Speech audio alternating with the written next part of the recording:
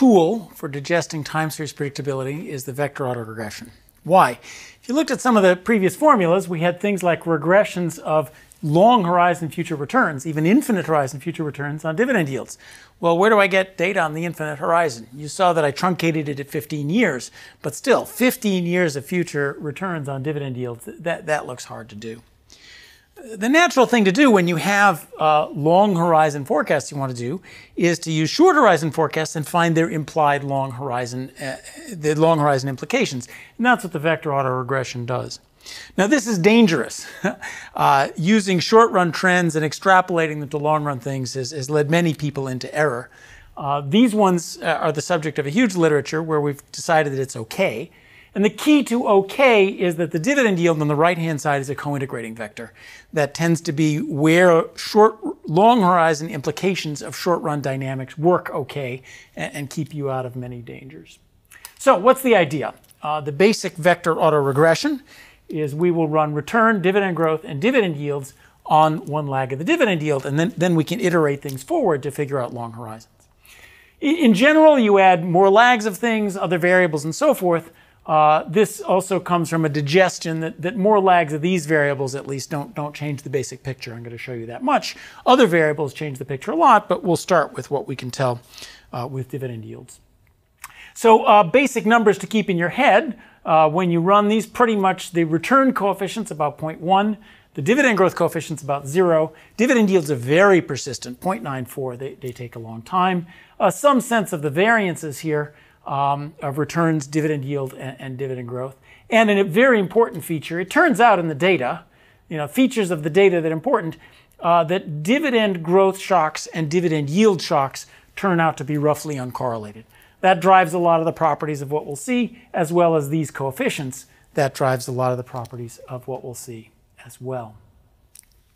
So let's look at our, our, our simple VAR. Uh, here it is. Um, uh, again, the simple VAR, and I repeated the numbers for your memory, roughly 0.10 and 0.94, with a covariance between those two shocks of about zero.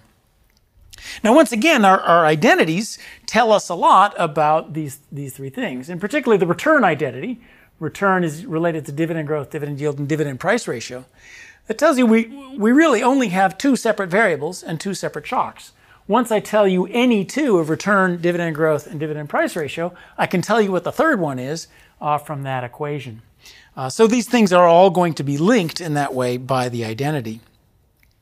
Uh, the easiest one uh, you can see is let's now take that return identity, apply it to these three regressions, as we've been applying identities to regression coefficients all, all, all in all, run regressions of left-hand side and right-hand side on today's dividend yield. That's BR, uh, that's minus rho phi, uh, that's BD, and that's 1.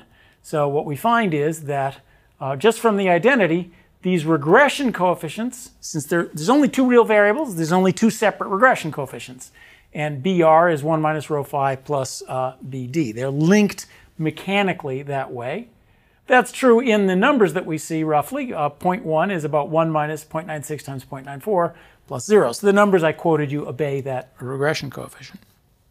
Uh, similarly, the errors um, uh, have to obey the, the, this identity means that the shock to returns equals minus rho times the shock to dividend yields plus the shock to dividend growth rates.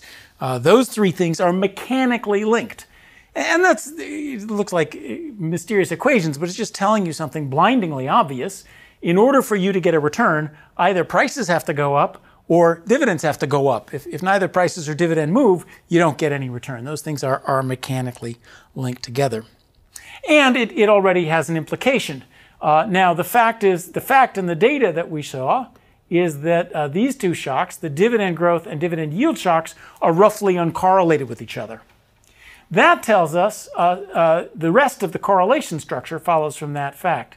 The most important one is that dividend yield shocks are negatively correlated with return shocks, and uh, dividend growth shocks are going to be positively correlated uh, with return shocks. So those facts that I showed you before of the correlation structure of uh, the returns, those all follow from the identity. The important one is that that one is zero, and then the fact that those are, are positive and negative big follows from the return identities.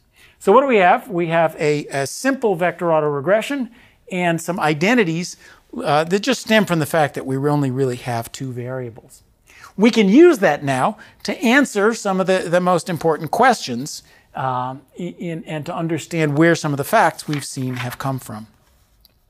The first fact I, I want to show you is uh, uh, connecting long and short horizons.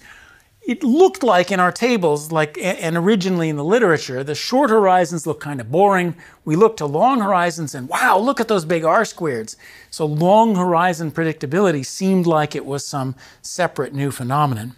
Uh, but it's not when, uh, when you look at, uh, at the equations of this simple vector autoregression. What the vector autoregression shows us is that long horizon predictability is exactly the same thing as short horizon predictability when the forecasting variable moves slowly over time. So the equations let us do that. Uh, there again, is, this is the relevant part of the VAR. We just need those two equations, returns and dividend yields. So let's look at a long run return forecast, the forecast of two year returns. Well, that's the, the first one, BRDP, but then the second one is RT plus 2, the second year return. That's going to be uh, 1 BR times phi DP, next year's dividend yield plus an error. And similarly, the three-year return is BR 1 plus phi plus phi squared. You can see what's happening right here. The coefficients are rising with horizon because the forecasting variable is very persistent. When phi is a big number, the coefficients rise with horizon. Similarly, the r squareds. We saw that, that beautiful r squared rising with horizon. Well, let's just work it out. Uh, work it out in the vector autoregression. The r squared at a one period horizon is um, the that's the var the r squared is the variance of the right hand variable divided by the variance of the left hand variable. So this is the variance of the right hand variable. That's the variance of the left hand variable. So that's the r squared at one period horizon. The r squared at two period horizon, well, that now is the right-hand variable. So the variance of the right-hand variable is b squared 1 plus phi squared variance of dividend yields. The variance of the left-hand variable is the variance of the sum of returns, which is approximately twice the variance of the returns. So you can see what's happening. The r squared is very r squared is going up. 1 plus phi squared, if phi were 1, that would be twice the r squared of the one period horizon. It's rising a little bit less than linearly. So both coefficients and r squareds rise with horizon, not because of anything magic about long horizons, simply because the forecasting variable itself is very serially correlated. And, and here's a picture version of that, that intuition. Here's a slow-moving forecasting variable. The slow-moving forecasting variable forecasts long horizon returns. Why? Because if it's high today and they're forecasting a high return for tomorrow, if it's high today, it's going to be high again tomorrow and therefore forecast a return for the day after tomorrow. So all the little returns uh, add up. Uh, it's as if it's the same way that January in Chicago forecasts a small temperature rise every day, and the R squared says it'll be hot in six months. Sit down and don't worry about it.